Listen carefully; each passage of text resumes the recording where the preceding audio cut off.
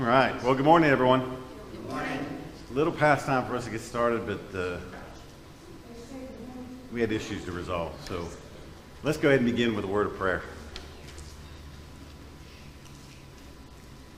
Heavenly Father, we enter your presence this morning with thanksgiving, with joy, with just wonder and, and uh, amazement in our hearts of, for all the things that you do, for all that you bless us with. And Heavenly Father, we just thank you for preserving us and, and keeping us and bringing us to this place, gathered together as one body, united to do your will. We, we thank you for your word that instructs us and guides us, often corrects us, and brings us to, to your truth. And as we consider it and just the simple fact that you gave it and preserved it and did so in a, in a manner that uh, it just makes it all fit together and describe uh, the reality of the world around us in such uh, grand form is uh, amazing to us. And we, we just uh, praise you and thank you so much for it. Heavenly Father, we, we thank you for this uh, opportunity we have this morning to open that word, to study, to study it, to, to come to know you through it uh, and to likewise be uh, encouraged and strengthened by it.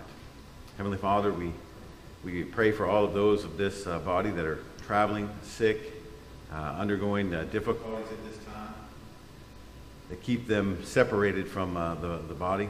We ask that you give us an opportunity to encourage them and strengthen them, and once again see those days when they come back in full strength to, to be a, a, a vital part of this, this body of believers. Heavenly Father, all these things we pray in your Son's most holy name. Amen. All right. Uh, one thing I need to take care of first. Uh, there were like 15 of these guides printed uh, that were sitting out back that were green. And uh, some of them had, you opened it up to the first lesson, and it only had a paragraph there. If you have one of those books, uh, you have a misprint. I don't know what happened. Uh, but uh, if you went through and looked at the subsequent lessons, you realized, hey, I already watched that video. Uh, so here are the new ones. So if you have one of those and you want the new one right now, I'll bring it around. Uh, but uh, if you don't know and you just want to pick one of these up or you want one of these now, I can bring it to you. Just want one?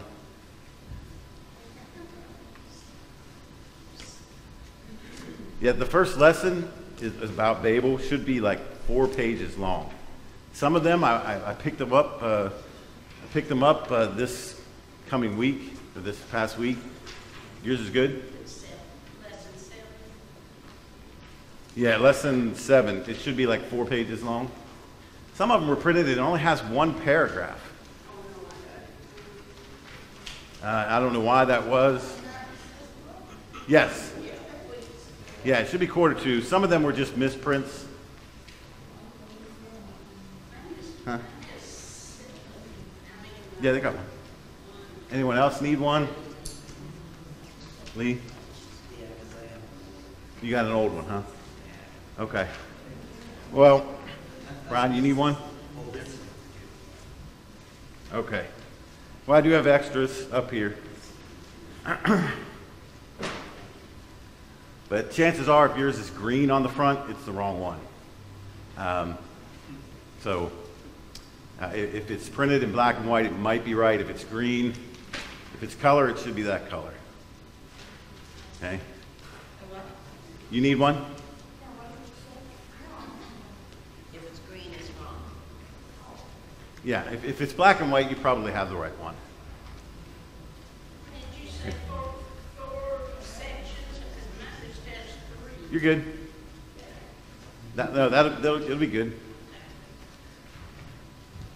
All right. So now that I've fixed that faux pas, uh, we'll go ahead and move on with uh, the lesson. Last week we were talking about Babel. This week we're going to kind of finish up uh, that discussion. Uh, you may recall last week we kind of went into, you know, what, what's this whole story about? Is it just about uh, a bunch of people who built a tower because they thought it was a good idea to, uh, you, you, know, elevate themselves and God, seeing them lifted in their pride, decided to knock them down a peg? uh, and, um, you know, uh, teach them a, a lesson. Uh, is that really all there is to it? Um, well, I think that makes a good, you know, introductory story uh, to Babel, uh, because certainly pride is part of it. Uh, and pride is probably going to be the root uh, of the issues here. Uh, but that's really not the fullness of the story, is it?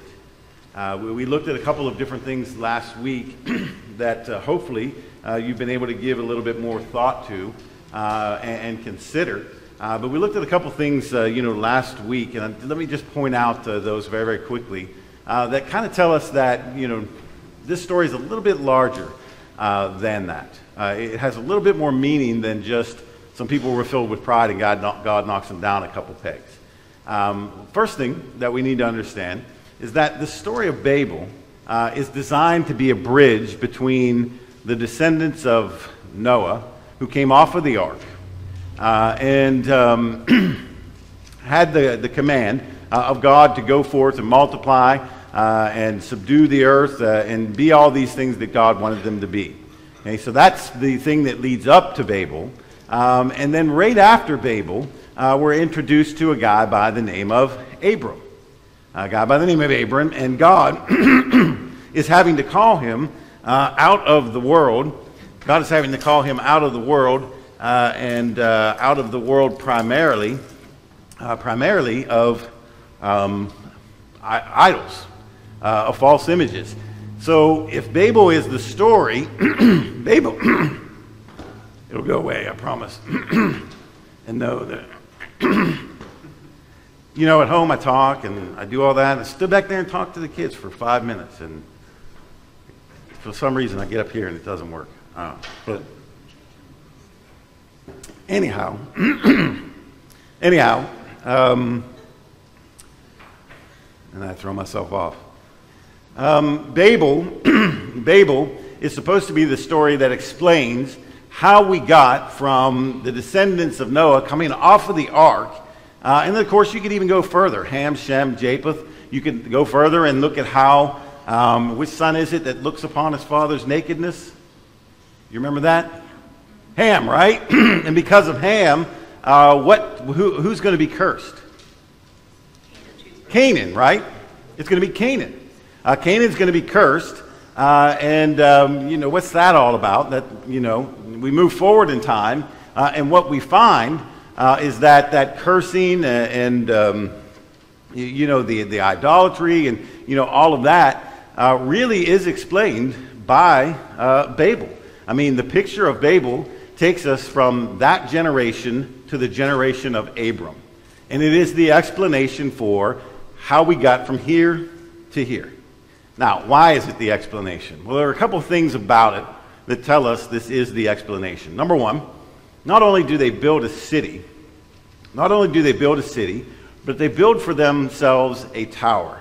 And the specific reason that they build this tower uh, is so that they can, in their own words, make a name for themselves. And as we pointed out last time, what other people were there? I mean, the Bible tells us that all the men of the world were gathered in one place, right? So, who was it that they were making a name among? You know, if it's just them, right? If it's just them, then who else is observing them and recognizing their name? Uh, it doesn't make any sense. Uh, so, basically, what we have is this picture uh, of humanity uh, operating in the presence of God, uh, and they don't seem really too content with that. Uh, instead, they want to make for themselves a new name. I think is the implied idea. Uh, towers we looked at in ancient times last time, uh, and you can look at all the different references we have in here. But, you know, towers, sometimes uh, in the period of the kings, which we were looking at uh, on Wednesday nights, uh, those towers, um, or high places, as they were called uh, in that period of the kings, were typically places where they would go to worship. Uh, and it was a place that was designated typically as a worship uh, uh, place of false gods. You remember when um, you remember when Elijah confronts uh, the prophets uh, of Baal. Where were they? They were on top of a mountain. Why? Well, because that's where the high place was. That's where their place of worship was. Even among the Jews, uh, even among the Jews, when they decided they were going to build a temple, where did they build it? On the top of Mount Zion. Uh, so, you know, they built, uh, you know, their temple there. Uh, and of course, you know, mountains play a prominent part uh, in, in, the Bible. Uh, but, you know, they didn't just build a city. So it wasn't a matter of them just being gathered together and united. And they built a tower. And this tower had a purpose, and the purpose was make a name for ourselves. Well, the only beings in existence are them and God. So, you know, what was it they didn't have? Well, we move forward uh, in the Bible and we find the thing that they didn't have uh, were these false gods. Uh, so, you know, uh, now, do we know all this for sure? No, but it seems to fit rather well. Uh, and it seems to explain a lot of different things about what we read in, in the Bible. Now, what we didn't get to is some of the other passages in the Bible that kind of speak to uh, this uh, idea. All right? So let's go, uh, let, us look at Deuteronomy chapter 32. Deuteronomy chapter 32. Uh, and um, we're just going to read the first few verses.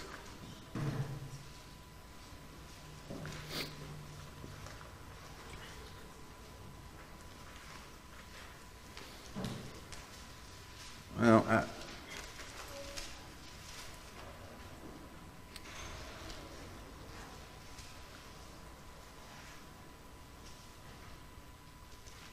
yeah, I tell you, let's start at verse 7. Uh, and of course, this is what we commonly call the, the Song of Moses. Uh, and in that song, he says, Remember the days of old, consider the years of many generations. Ask your father, and he will show you, um, show you your elders, and they will tell you. When the Most, when the Most High gave to the nations their inheritance, when he divided mankind, he fixed the borders of the peoples according to the number of the sons uh, of God. But the Lord's portion is his people, Jacob, his allotted heritage. He found him in a desert land, and in the howling waste of the wilderness, he encircled him. He cared for him. He kept him as the apple of his eye. Like an eagle, he stirs up its nest. And he goes on and talks about, you know, Jacob. But you'll notice here, one of the things that he says uh, is that uh, he allotted to each of the people. He's the one that divided them. He's the one that divided them all up. And that's talking about Babel. Uh, and that division uh, had God then allotting certain things to different peoples uh, different peoples. Now, look at Deuteronomy chapter 29. Deuteronomy chapter 29. and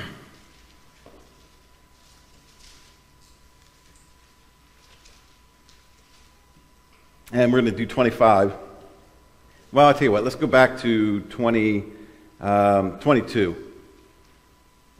In the next generation, your children who rise up after you, and the foreigner who comes from a far land, will say, when they see the afflictions of the land and the sickness with which the Lord has made it sick, the whole land burned out with brimstone and salt, nothing sown and nothing grown, nothing growing, uh, where no plant can sprout, an overthrow uh, like that of Sodom and Gomorrah, Admah and, and Zeb, uh, uh Zeboim, uh, which the Lord overthrew in his anger and wrath. All the nations will say, Why has the Lord done thus to this land? What caused the heat of this great, great anger? Then the people will say, It is because they abandoned, uh, abandoned the covenant of the Lord, the God of their fathers, which he made with them when he brought them out of the land of Egypt, and went and served other gods and worshipped them, gods whom they had not known, and whom he had not allotted to them. Therefore, the anger of the Lord was kindled against them uh, kindled against this land, bringing upon it uh, all the curses uh, written in this book. All right, so you notice a couple of things here. he makes this special covenant with Jacob, right? And he says that, you know, he is their God uh, and they are his uh, people. And it's not that God, it's not that God, um, how do you want to put it? Uh, you know, put his stamp of approval on the false gods of the people around him. Uh, but it says that, you know, God chose those people. God chose the people of Jacob. That was their allotment. He was, they were his uh, portion. Uh, and they decided to turn their back, you know, on that covenant. But different things were allotted to different peoples, um, you know, throughout the world. Now, that's not right. That's not wrong. I mean, it's not right. Uh, it's certainly uh, wrong because God's going to condemn uh, you know, all of those false, uh, you know, teachings. Uh, but, you know, here, a thing I want you to notice is that there was an allotment. Okay, there was an allotment. There were certain people that were pulled out uh, and made separate. Uh, when this whole, uh, when this whole of humanity was sent forth, um, why were they, you know, what was the thing that defines that nation, defines those nations as they're going forth? Well, it's their false gods, uh, it's their false teaching. Uh, and that all goes back to, I believe, you know, Babel uh, and the portion that was, you know, allotted to, a portion that was allotted to uh, Jacob.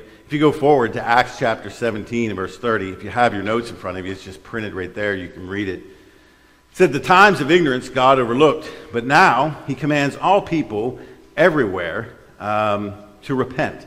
Now, what is he talking about? What are the times of ignorance? I mean, is that just any time when people just don't know things? Well, let's go forward. Let's go to Acts chapter 17, and let's do a little bit of reading of the context. Acts chapter 17. What's that? All right, we'll wait for you.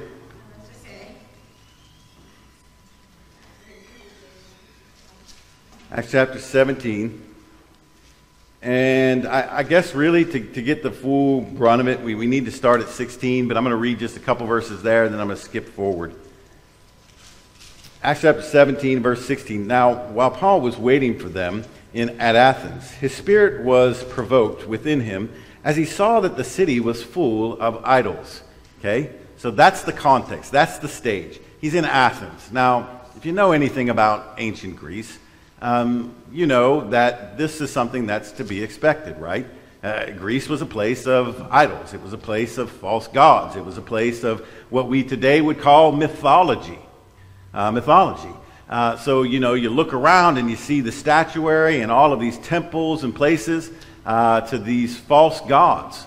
Uh, and, you know, Paul instantly has a sermon idea. Right? So skip forward just a little bit to verse 22.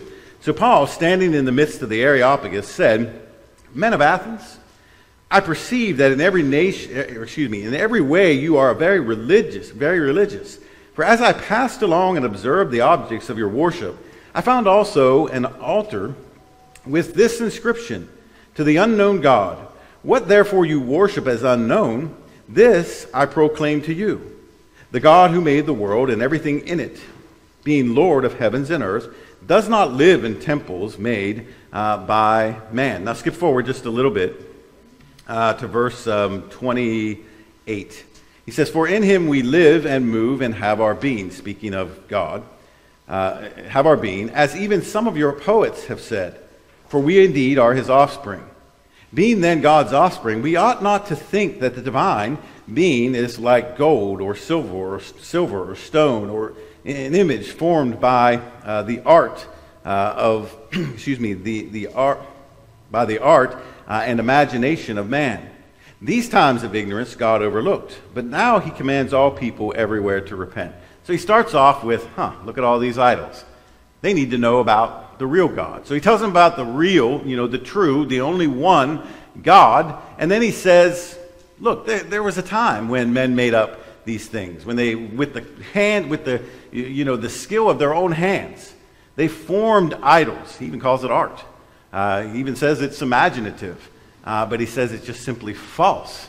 He said there was a time when, you know, God winked at that type of thing. Now, what does that mean, God winked at it?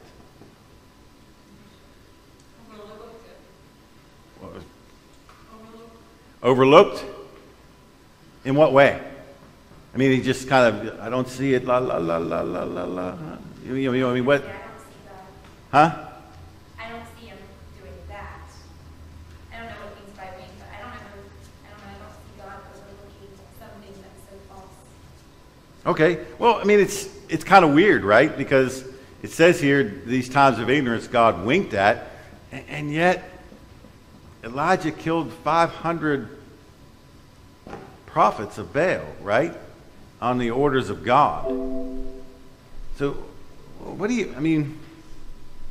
He condemned false prophets all over the Old and false teachers all over the Old Testament. So I, I don't know. What, we, what do you think?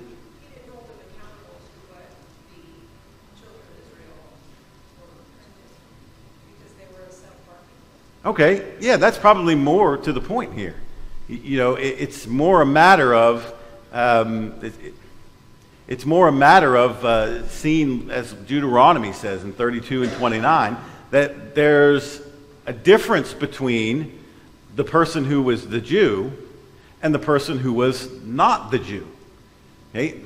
The Jew, the descendants of Jacob, uh, the descendants of Shem and Eber, uh, and however far back you want to go, um, they're the ones that have been educated. They're the ones who have received all along the divine insight. And they have been called to the covenant relationship with God.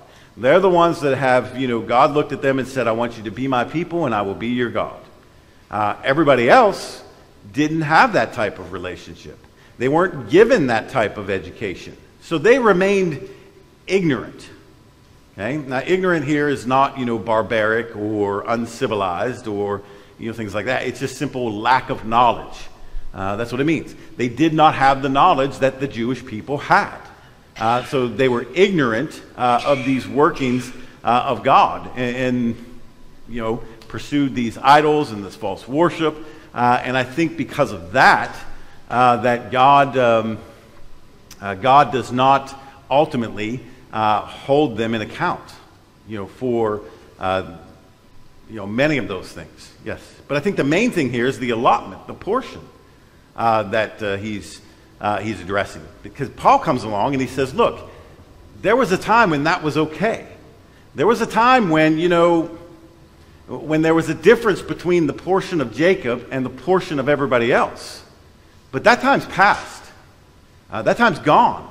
Uh, now, all men are called to, to repent. All men are called under this, you know, same, you know, large, you know, tent of Christianity. Uh, everybody knows. Uh, everybody has access. Uh, it's not a lineage anymore. Uh, it, it is a uh, choice for every human being, you know, to make. Kimmy. That's exact, that's exactly where I was gonna kind of come to with my follow-up question, but it seems like, well, I mean, I kind of completely know that there are situations, and I know that the times have changed, that everyone has access to it, but still, it kind of baffles me sometimes that everyone doesn't have, like, some people are brought up in the church and taught God's word from the very beginning of their life, and then, I don't know, it just seems like not that he's gonna wink, but he has to understand that some people, like when I had an exchange student, she was like, whoa, whoa, whoa, what are you guys talking about, all this love of God and Christ, and, and so I kind of think like, I know everybody has to know, and I know every day one needs it about, but I also feel that some people don't have the same access to Christ as, for example, I guess maybe, maybe we all have the same access because the book's open for everybody, but I don't know. Well, not really. I mean, if you live in, for instance, uh, you know, some remote part of communist Russia, I mean, where you can't run down to the Christian bookstore and buy yourself a Bible, a Bible, and you're taught your entire life from the time you were this big, not the story of Noah and Jonah and you know all of that. You know, you're, you're taught about other things. Uh, and I don't know exactly what they would teach, you know, the importance of the state and the importance of the government and the importance of, you know, this and that and your job and your responsibility to your people. And, you know, I'm sure those are some of the things that they're taught. And that's kind of the highest uh, moral.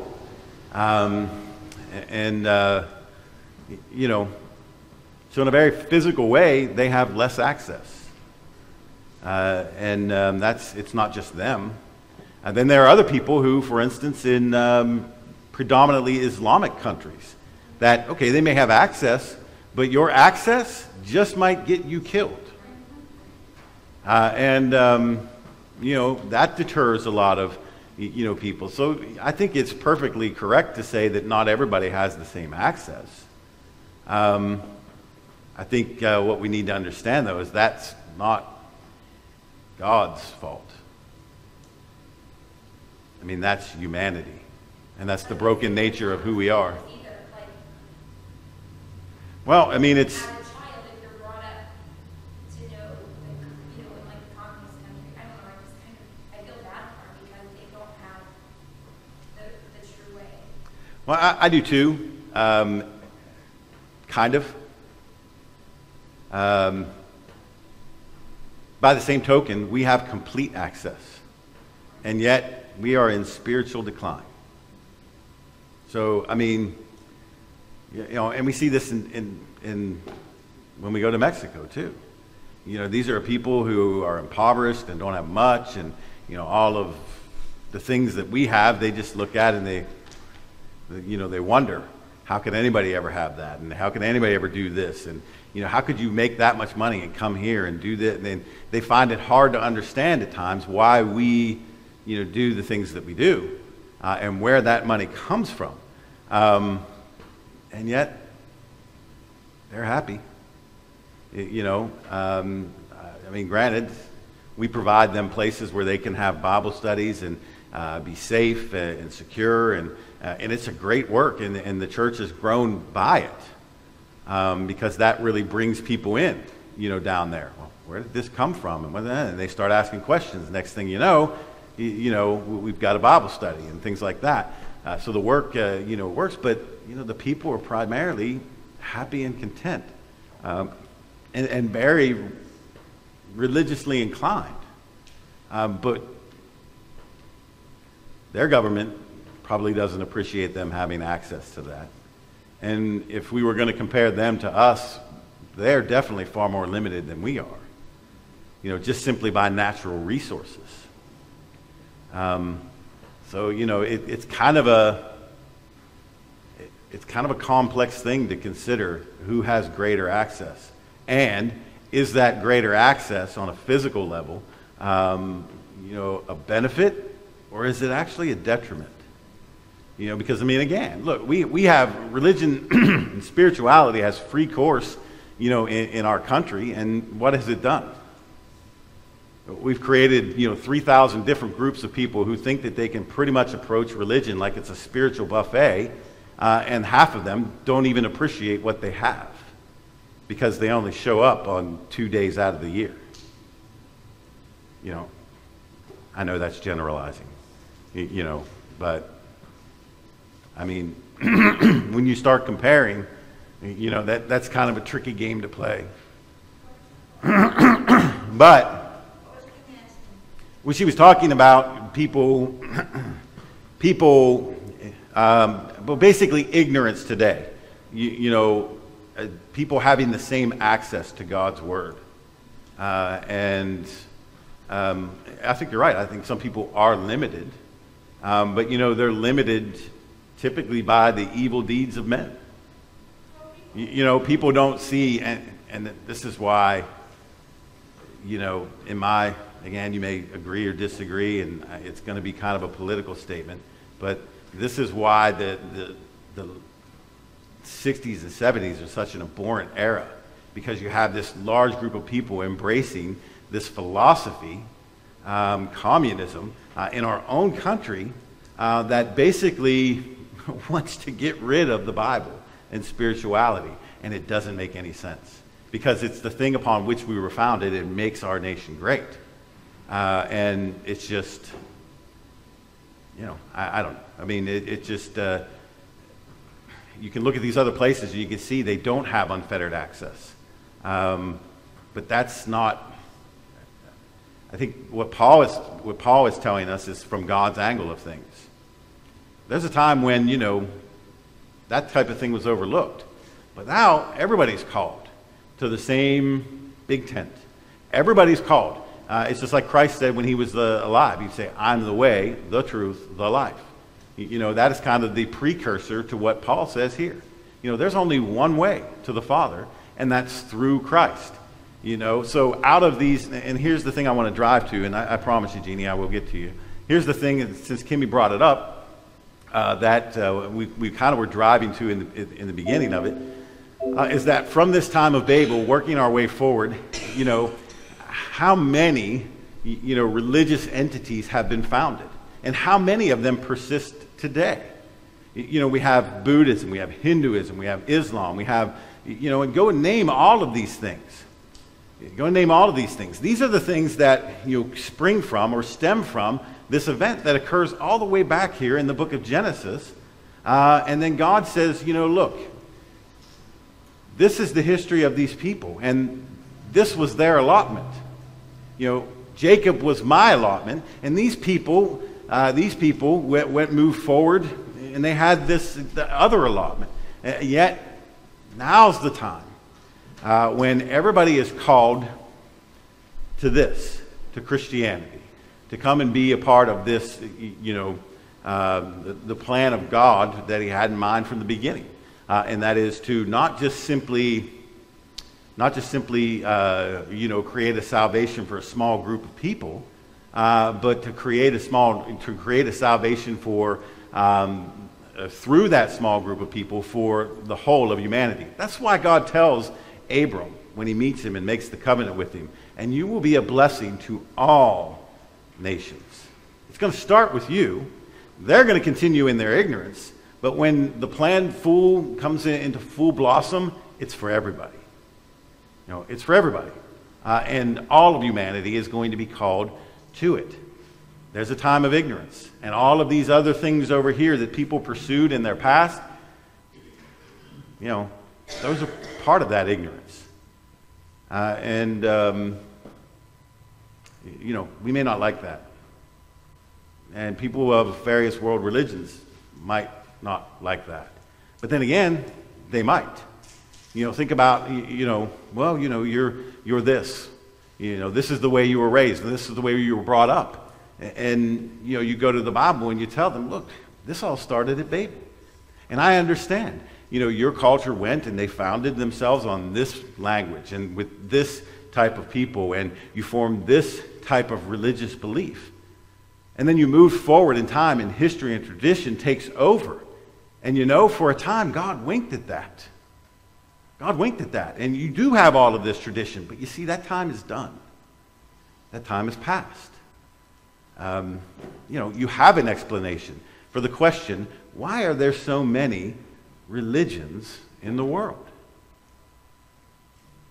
You know? So uh, to me, it seems, uh, you know, to be a, a, fitting explanation and actually a good point to start uh, with, with someone who uh, is of one of these world, you know, religions. Well, where did they come from? You know, when did that form? Um, so on. Jeannie, you had a question.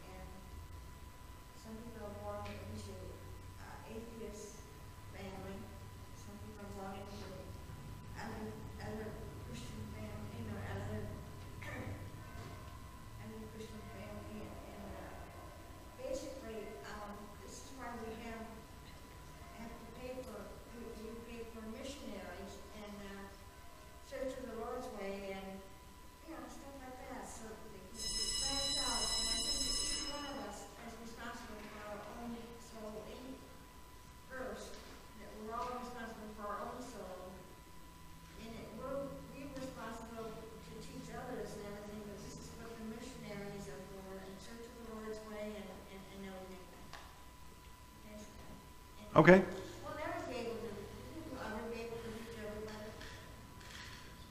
Well, I mean, in order to answer that question, you'd have to know, you know, the, the, the, population growth of every country and every, you know, I mean, because people are. It,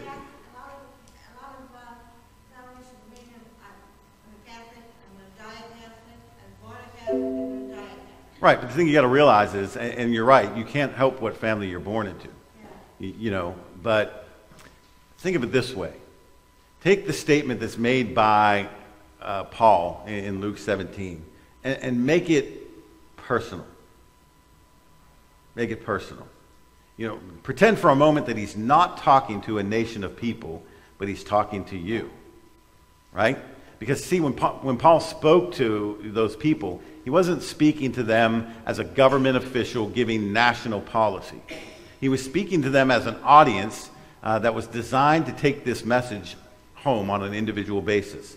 So, in reality, what Paul is saying to every individual there is that you, in your own personal ignorance, in the past, God winked at that. But you see, that time's done. It's time for you to not be ignorant anymore. It's time for you to wake up and start thinking.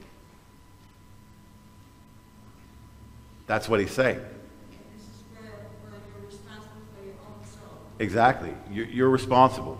Now, uh, the. well, You're right. I mean, people are trained a certain way, and, and it is hard to overcome that. But, you, you know, uh, people do it all the time. I mean, hundreds of thousands of people, millions of people. You know, in, in one of the greatest mission fields the, the church has seen in the last 10 to 15 years is India. Uh, and I mean, you talk about people steeped in ancient religions. Um, it's them. Uh, and yet, in droves. You- know, and I've got three, four friends that go to, to India just about every year. And they come back and it's like, how many did you baptize? Well, we only did about 200 this year. And 200. Wow. And then you follow that up with, well, okay, but how many of those are actually still there next year when you come? About 98%. Yeah. And you're like, wow, it's amazing. So, you know, uh, you talk about people who are not only, you know, taught by their parents to believe something, um, you're, taught, you're talking about people who culturally, um, uh, you know, beyond their family, their, their family, their town, their city, their culture, uh, have been fully accepting of, of a large number of false ideas. Uh, and the entirety of the culture uh, is kind of compelling them in a, in a certain direction. See, at least here in, in America, you can do whatever you want. You have the choice. I mean, tomorrow you could become a Baptist. The day after that, you could be a Presbyterian. The day after that, you could put on one of those orange robes and shave your head and walk around, you know, banging your tambourine or whatever you want to do. You- know, here you have unfettered access to whatever. Uh, there, not so much. And yet they still make the choice. Hundreds of thousands of people every year. You know, so again, go back to Paul's words. He said, The time of this ignorance God winked at. But that ignorance is done. It, it's over with. Someone else had something to hand up? No? Okay. A couple more passages. Uh, and we got, we got like 30 seconds. Um, but let's see. Um, if you look at uh, Matthew 3, verse 2, Matthew 4, 17, Matthew 10, 7, uh, Matthew 20, 21, uh, Christ is talking about the, the, the kingdom of God was uh, at hand. Uh, he comes to his fellow Jews. He was rejected by the, the Jews. Uh, goes through his ministry as a whole. And again, I'm running right through this because we, we have little time. It goes through his entire ministry. Of course, we know that he's killed. Uh, he's killed. He's placed in a tomb. He raises the third day. Uh, and then 50 days, you know, after all of that, uh, Pentecost comes. He had already told his disciples, tarry in Jerusalem until you're endued with power on high. Day of Pentecost comes. What happens? What happens? If Babel is this parenthetical mark, Pentecost is the other one. They are bookmarks of the same idea. Basically, you have men from several different nations gathered in this one place, gathered in this one place. They all start speaking different languages. Sounds a lot like Babel, doesn't it? Uh, sounds a lot like Babel. Uh, but, uh, you know, um, read through the rest of the notes. Uh, and the lesson is yours, guys. I appreciate everybody's comments, input. Next week, uh, and just so everybody knows, next week we're going to be watching the video. Every single one of the lessons, uh, even when it's we don't have a video, is two weeks long, uh, unless otherwise indicated in the notes. So next week we're going to be watching uh, the video about Noah uh, and the flood and what actually happened, as opposed to some of the things that uh, are currently being taught to, in film and so on. Uh, and then the next week we discuss. But even when there's not a video, we still do the same thing. It's two weeks, two weeks per lesson. Okay? So next week we're going to be doing Noah. Um, and uh, if you don't have one of these, uh, make sure you come and get it because it will have uh, the notes in there uh, that, well, you'll need this to take notes uh, as you play the video. All right? That's our time, guys.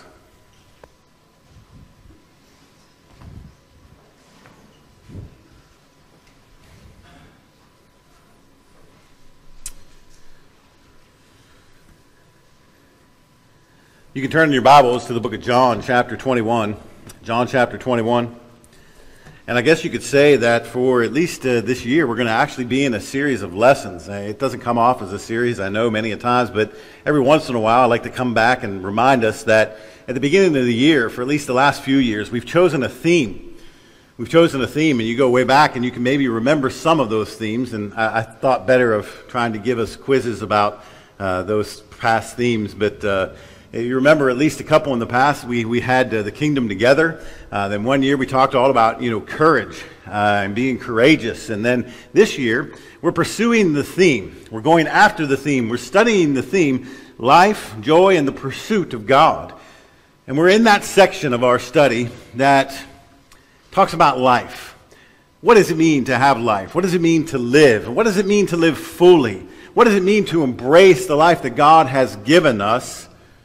And we've said so far that if we're truly going to be joyous people, if we're truly going to have that joy that we can have in this world that is beyond what men can typically measure, then we are going to have to pursue God. And when we pursue Him, seeking that joy that He offers, then we are truly alive.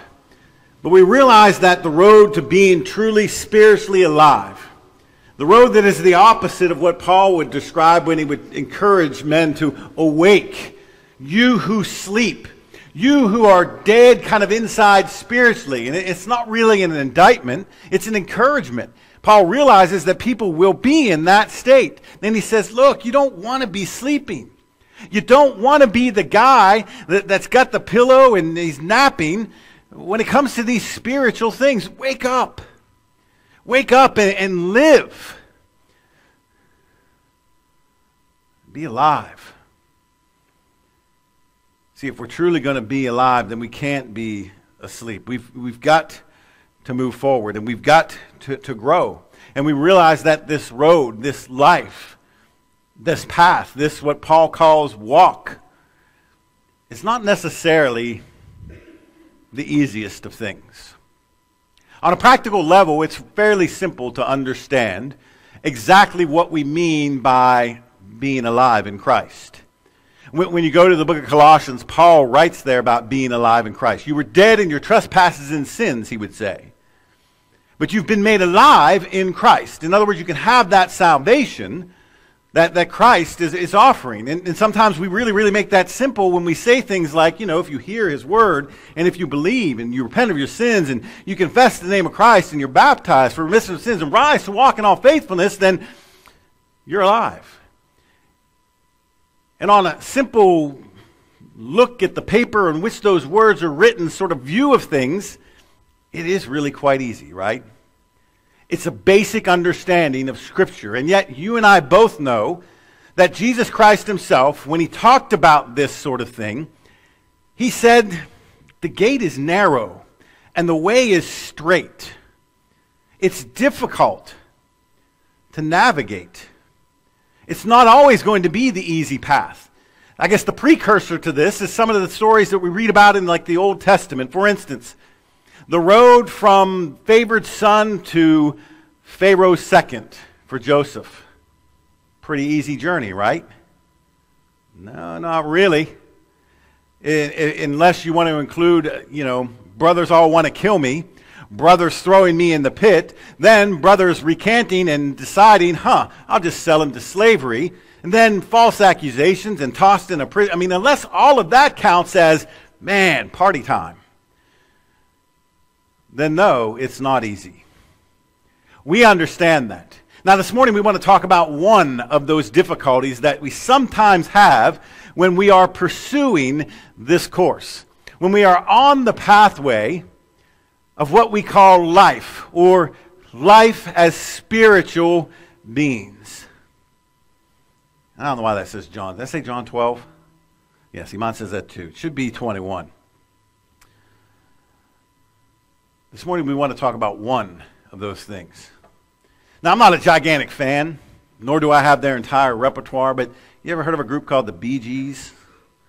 Kind of a 60s, 70s type group, I guess, you know? I mean, uh, the Gibb brothers, tragic stories, most of them. All died relatively young. Well, there might, I don't know if all of them died, but many of them died at very young ages. But they have this song, and it kind of reminded me of this lesson when I started putting it together. It says, I started a joke. You know that song? It says, I started a joke that started the whole world crying. And I thought about that song as I thought about this lesson because today we're going to talk about regrets. We want to talk about things that get in our way from living spiritually, and one of those things, and really it's just us. I mean, it's just you getting in your way. But regret is a big, big thing. So let's begin with this question. You ever done anything wrong that you look back on? Maybe, maybe you've done something so wrong that even today, as you're thinking about that wrong, it causes you to kind of cringe on the inside. It makes you want to kind of repel the idea as quickly as you can because it makes you that uncomfortable. Maybe it was living in a lie for a long period of time and then you were found out and then you had to face up to the consequences and you regretted it all along. Maybe it was, you know, you, you cheated on something or you cheated on someone. I don't know what it might be, but most of us live with some kind of regret because we all mess up and do bad things. Now, the reason I thought of that song is because it reminded me of one of the things that I did. Literally started a joke that started, well, not the whole world, but started a whole group of people down a wrong, wrong road. See, I had this friend. His name was Steve. And Steve was the kind of guy, well, I worked with Steve, and Steve was also a friend at school, but Steve was one of those guys that knew everything. Now, I'm not talking about one of those guys that actually knows everything, but he's one of those guys that knew everything. And everything that he knew was something that you didn't know, and if you did know it, he knew it better. You know the kind of guy I'm talking about? The kind of guy that when you talk to him, it, it's just this constant frustration because he's constantly trying to, you know, one up you. You have this unique experience and you come back and you're like, man, I went and I did this and, da, da, da, and you come to find out that he did it too. And his experience was not only just like yours, but his was better. It was an amazing thing. So one day, we just got particularly annoyed with Steve. And on that same day, Steve forgot the keys to his car at a register. Bad thing to do. See, because Ed and one of his friends, well, eh, anyhow, but anyhow, we took the keys. We made copies of the keys. We set the keys back on the register. And then for about the next six months, we played with Steve's mind. It started at work. We would take Steve's car and we would move it a couple spots over. And then a couple spots over turned into a couple aisles over. And then from this parking lot, the employee parking lot, to the public parking lot. Pretty soon, his car ended up one time across the street in a lawyer's parking lot, where some of the people from our workplace parked. After a while, it turned into Friday night ventures when Steve wasn't at work. But Steve would go to the mall with his girlfriend, and we would find his car there and move it a couple of spots. And then we would move it a couple of rows. And then eventually, Steve found his car on the other side of the mall. And we never did harm to the car, we just moved it a little bit. And it drove Steve crazy. And he would come to us wondering, how's this happening? What's going on? He never suspected us the whole time. And then one particular day, Steve got really particularly annoying. So we got a couple of hydraulic jacks. and you can pretty much stop there and just know it's going downhill from this point. We got a couple of hydraulic jacks and we jacked this car up. And on each, behind each one of the wheels, we took jack stands and we put them on the axles so that the car set high enough so that when you tried to move, the wheels would just spin. But it was low enough so that you couldn't really tell the car was off the ground. And at midnight, he came out of work, got in his car, started it up, and went to take off, and he just sat there.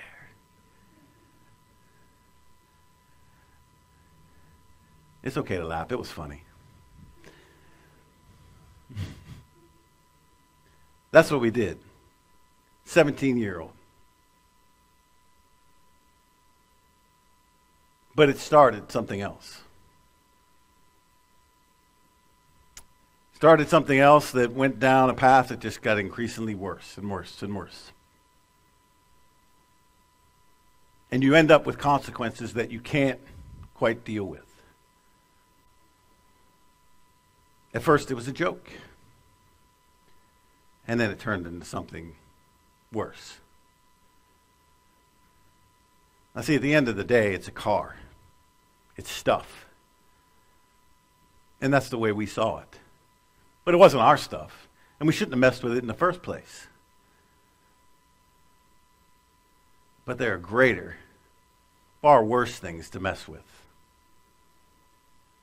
And it's some of those things that we do that we deeply regret.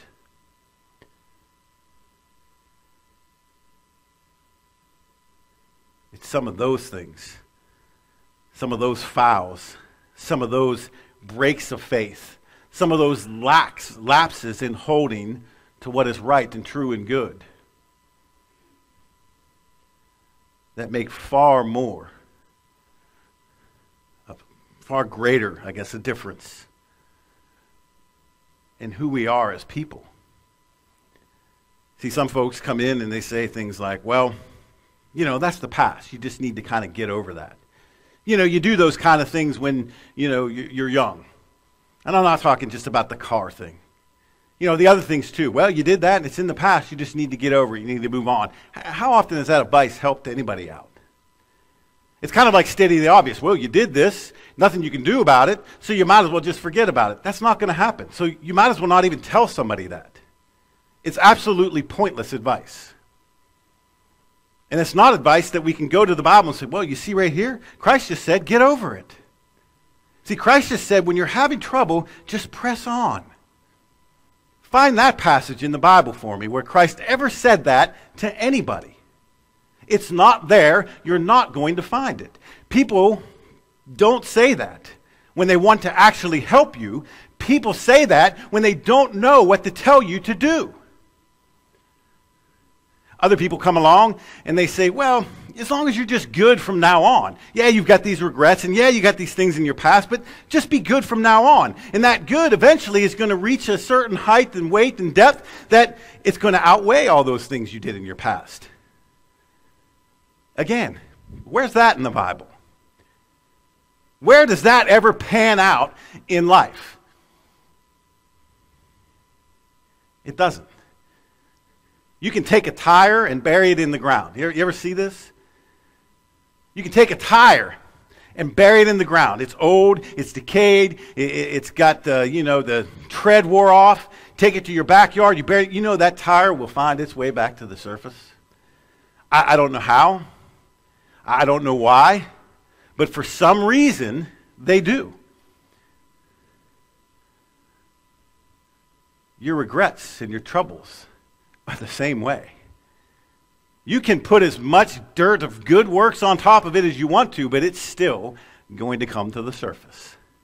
You're still going to have to deal with it. So this morning we just asked the simple question how did Christ deal with these types of things? Well, the first thing we have to acknowledge is that Christ dealt with people who had these types of things in their life. We're going to talk about one. We're probably going to talk about one that is in the hands of the probably uh, most ministered to, most talked about, uh, probably more care given to disciple that Christ had, a fellow by the name of Peter. Now we know Peter is this impetuous man who does a lot of things that just seem to be off the cuff and sort of outrageous at times. And we kind of expect that from, you know, Peter. So sometimes when that comes along, it's almost as if we sort of dismiss it. Well, that's just Peter. As if that's an excuse for things. But you see, Peter was part of that inner circle. Christ had his 12, but then there were certain of those disciples that always went a little bit further. There were some that went to the top of the Mount of Transfiguration. Same group went to the Garden of Gethsemane with him, and the rest stayed back here, but these went ahead with him. So Christ had devoted a lot of time to Peter and these other men in this inner circle, had taught them, had brought them along, had mentored them, had shown them many, many things. And we know the story. Just before Christ is going to die.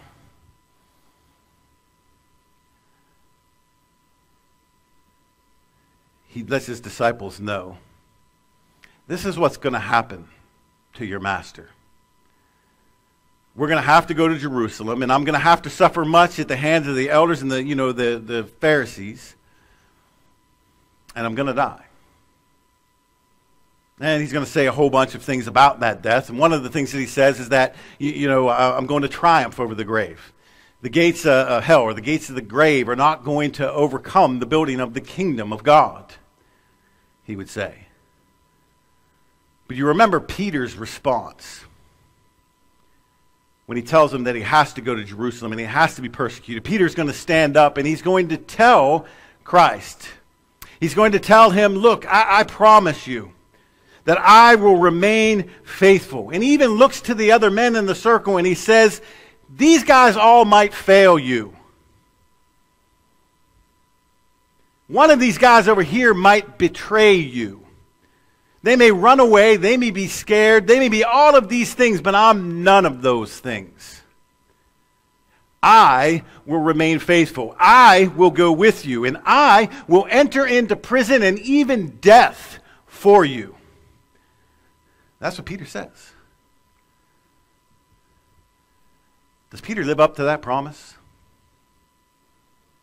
No, Peter does not live up to that promise.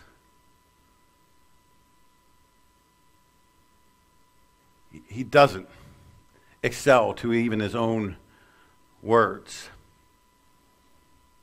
And Peter is a man once he fails and once the cock crows and once he realizes he has betrayed the Son of God, just as Christ had predicted, the Bible tells us that he remembered what Christ said. You go back to Luke 22 and you can read the actual words. He remembers what Christ said and how Christ had spoken to him about this very moment. Promise made, promise failed. He remembers, he betrays Christ, he remembers the words, and then the Bible tells us that he went out bitterly and wept. Here's a man who has regret in his heart. Here's the moment in which that regret comes to him. I did it. I can't undo it. I can't go back. I can't change the past, but I still have to deal with what I've done. So from that moment on, what happens? Well, we're going to fast forward just a little bit, and I want us to observe three things. And this is where John chapter 21 is going to come in. And it's where we learn about how Christ deals with regret. See, sometimes when we want to deal with regret, we, we listen to other people. We'll just forget about it. We'll just do good things. Or sometimes we just simply listen to ourselves. Well, you know, if I just don't expose myself to it, if I isolate myself, if I pull into my shell and I don't have to expose myself to it and don't think about it, then it just all goes away. So we become kind of what? Self centered, self focused, and all of that, putting so much energy into avoiding the thing that we know is going to come back to bite us anyhow. And we end up not solving the problem. When in the beginning, we, just sh- we should have just simply asked the question what would Christ do? How does he deal with regret? John 21. It's a section of Scripture that we know and we know fairly well. Christ has risen from the grave. He has come back. He's already appeared to his disciples. They already know that, you know, he is uh, alive and here. They're out fishing and Christ is going to appear to them again. And most of us remember this story because they're fishing, they catch nothing. Christ tells them, Put down your net on the other side. They catch the great draft of fish, and they end up eating breakfast with Christ on the beach that he has made for them. And then the section that we remember best after that is where he talks to Peter, and he asks Peter that three times, Do you love me? And each one of the times he tells him, You know, you need to feed my sheep. Feed my sheep. Feed my sheep. But in reality, what's going on here is that Christ is coming to these disciples to help them deal with the things that are going on, mostly in their heart, but certainly situationally. The first thing that I want us to notice is number one, what does Christ do with regret? He confronts it because it is reality. He confronts the reality of the situation that we find ourselves in. Notice verses 1 through 4, chapter 21. After this, Jesus revealed himself again to the disciples by the Sea of Tiberias, and he revealed himself in this way Simon Peter, Thomas, called the twin, Nathanael of Cana in Galilee, and the sons of Zebedee, the two others of his disciples were together. Simon Peter said to them, I'm going fishing. And they said to him, We will go with you. And they went out and they got into the boat, but that night they caught nothing. Just as day was breaking, Jesus stood on the shore, yet the disciples did not know that it was Jesus. Jesus said to them, Children, do you have any fish? And they answered him, No.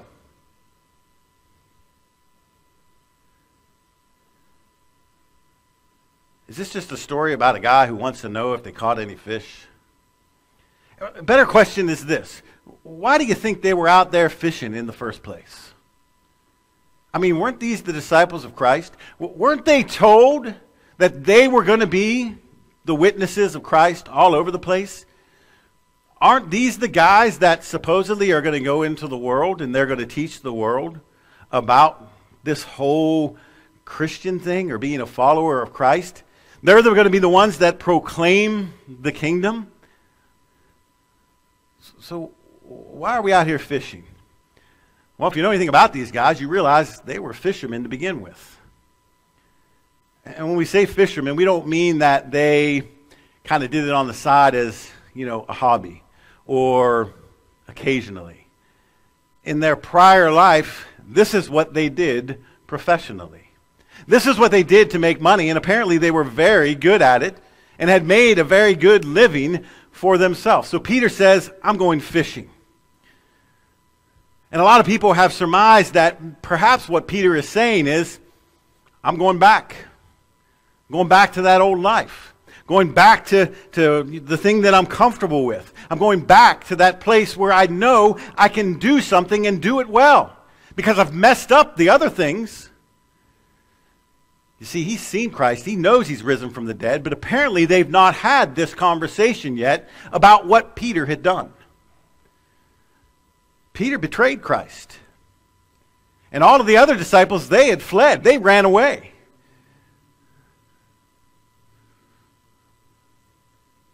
So, no doubt, Peter feels this regret and he says, I'm going fishing. I mean, Christ is risen. One of the, the greatest miracle of all time has just occurred, and your master, the guy that you've spent the last three years with, is at the center of it. And yet there's no excitement here. There's no, let's go tell the good news here. There's a, let's go back to the old way. Let's go back to the place that's comfortable. How did that work out for Peter? Well, not very well, apparently. Christ yells out to him and says, Do you have any fish? You remember what they said? No. we don't have any fish. We're the professionals. We're going back to this way where it's comfortable, where it's safe, where we know we know what we're doing. And apparently, they don't, at least on this night, because they've caught nothing. Can you imagine that? I mean, imagine yourself, you know, you, you put yourself out there and you go and you pursue a course and realize you can't do it. So you go back to the things that you did before that. You, you get a job and you realize, I can't do that job. I just don't have that skill, or I can't think on that particular level. And you go to go back to the job that you were working before, and now you find that you've lost that skill too. Now what? Can't help but think that God is kind of whittling down the options for Peter here. Peter, what are you going to do with that regret? What are you going to do, Peter, with that rock that's sitting in your heart because you betrayed the Son of God? Yeah, you can run back to that place that's comfortable for you and where you think you're competent, but I'm going to take that away too. Because, see, that's just it, Peter. You're running. You're running away from it. Christ comes along and says you have to confront the reality. Peter comes to the beach, and what does he do? He begins this conversation with him. And that conversation has everything to do with what Peter had going on in his heart. Do you love me, Peter? See, that's the heart of the question for Peter, isn't it? You proclaimed your, proclaimed your love for me before. You said you'd never betrayed me. You say you will always be faithful to me. So Christ doesn't have this big conversation with him with all different shades of meaning. He just comes right out and states the question Do you love me, Peter? See, if we're ever going to overcome regret, we have to deal with regret. We have to deal with the reality of the situation that typically we have created for ourselves. We can't run to the safe place. We can't hide it. We can't bury it. We can't simply build enough things on top of it so that we don't have to address it anymore. We have to confront the reality of it. But see, that's not enough, and that's not really the whole of what we're saying here. What we're saying is that you have to confront the reality of it in light of Christ and his sacrifice.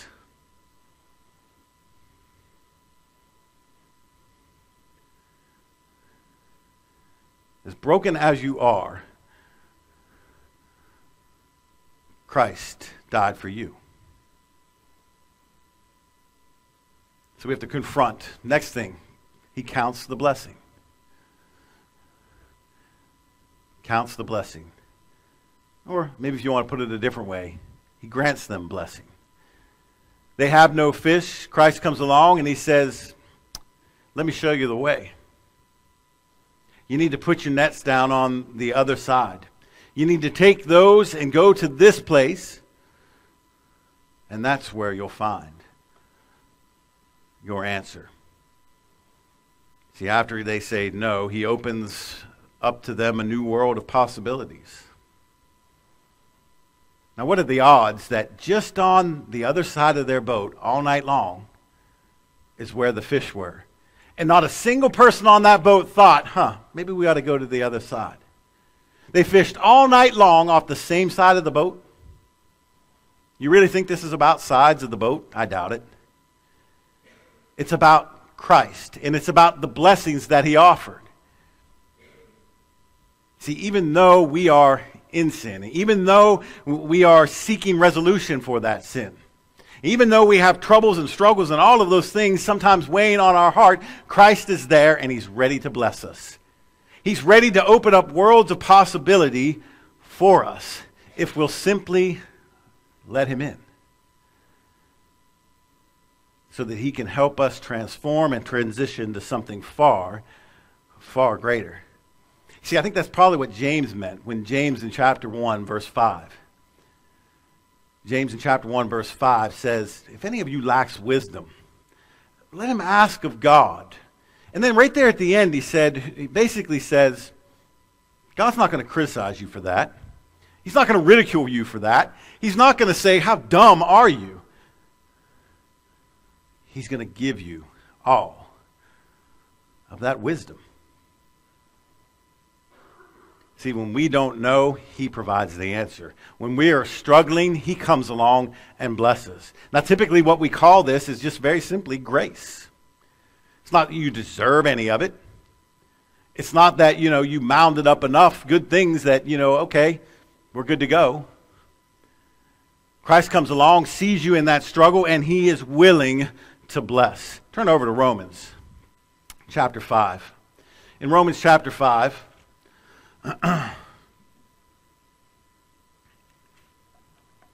Beginning with verse 16. Romans 5 verse 16. And the free gift is not like the result of the one of that one man's sin, for the judgment following one trespass brought condemnation, but the free gift following condemnation, but following many trans, excuse me, trespasses brought justification. For because of one man's trespass, death reigned through that one man. Much more, all those who receive the abundance of grace and the free gift of righteousness reign in life through the one man, Jesus Christ. Therefore, as one trespass led to condemnation for all men, there's the sin, there's the regret. So, one act of righteousness leads to justification and life for all men. There's the cross. There's the grace. There's the forgiveness. There's the solution to our problem. Christ is willing to bless if we're willing to let Him bless, if we're willing to allow Him to transform us. Yesterday we went with about five, what, seven people, Philip? And we cooked at the Ronald McDonald House downtown. It's for families that have kids who are being treated at uh, Children's Hospital there. And Bethany and I walked in, and we were the first ones there, and we were greeted at the door by some smiling faces who showed us around the place. And on their counter there, they had this jar. And Bethany was looking at the jar, and she wondered what was in the jar. And the, and the lady just invited her to take one. And she pulled out a couple things from this jar and, and read them. And, I want to read one of those to you today. Simple little pieces of paper folded up that look like this. we pulled this one out, and these are just for people who visit or the residents there. And you'll have to notice that there's all kind of little drawings on this. Somebody made these up and placed them there for people to take. And it poses this question. It says, How does one become a butterfly? And then it gives the answer. You must want to fly so much that you're willing to give up being a caterpillar. Do we want to be a child of God so much that we're willing to give up all of that heaviness, all of that hardness, all of that difficulty that is bound up in our heart? See, sometimes the answer is no. Sometimes we just become bitter and resentful. And somewhere along the way, we just kind of learned to like the pain. And we forgot how to laugh and enjoy life and see it for what it is a blessing of God. Somewhere along the way, we, we've lost our bearing. And we've transformed, but it's not been into anything good. And it's because we've never dealt with those things that have taken up residency in our hearts that have now embittered us and caused us problems. See, just like James, just like Paul in Romans, We've got to come to the cross and we've got to find that blessing. And then finally, we've got to receive the comfort that only Christ can give. Is it line like that? No idea why it's doing that. We've got to receive the comfort that only Christ can give. Christ says, Feed my sheep.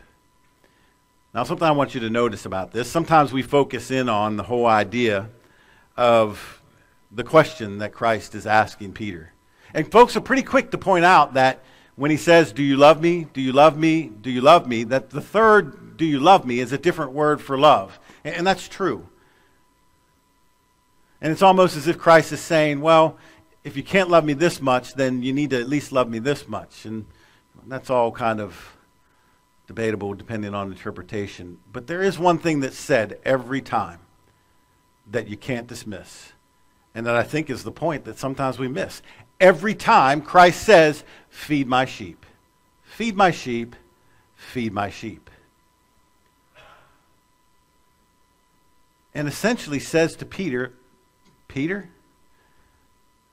there's still place for you in all of this. You may fail in your love for me.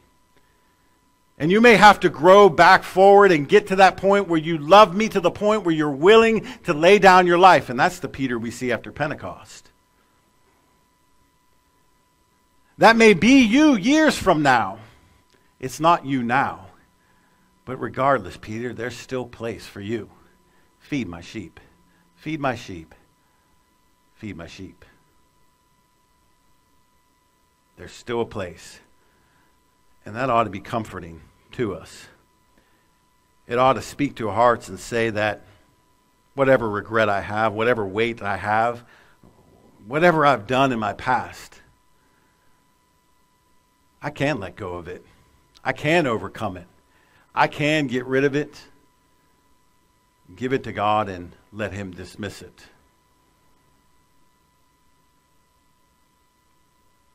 Now, maybe this morning you're here and you have some of that heaviness weighing upon you. Maybe you're here this morning and you've never taken the opportunity to become a child of God. Well, maybe you know His Word, and maybe, maybe based upon that Word, you, you understand the concept of, of faith. Let that faith take hold of you this morning. And let the strength of that conviction lead you into repentance and lead you to confessing Christ and lead you into the waters of baptism so you can rise to walk in newness, newness of life.